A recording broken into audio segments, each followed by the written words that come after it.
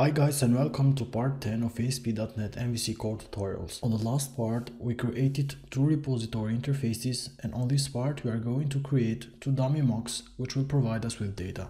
So inside the data folder we create another folder and we name it mocks. Mocks are simply C-sharp classes which will inherit from the repository interfaces we created and we will implement the methods and the properties. Let us start by creating the first mock so we right click and we add a class.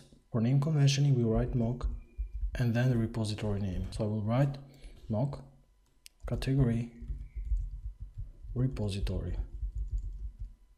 After we add the mock, we inherit from the interface and in this case it is i category interface. We implement the missing members, which in this case is just the categories. I'm going to copy the code from my GitHub repository and we'll add a link down below where you can get it as well. As we see here, we have the categories property this property has a getter only which returns a list of categories. These are the only two categories that we have, alcoholic and non-alcoholic drinks. Let us add the other mock as well and we name it mock drink repository. For mock drink repository we are going to inherit from i drink repository.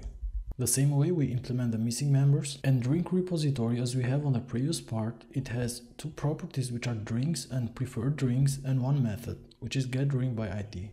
The same way I'm going to copy the code from my GitHub repository and I will provide the link down below on the description part. Here at this line, we need to reference the mock category repository because our drinks have a property named category. Implemented only the first property since this is just a short demo to get an idea how the things work. This is all for this part. On the next part, we are going to learn how we can configure the services on ASP.NET Core MVC.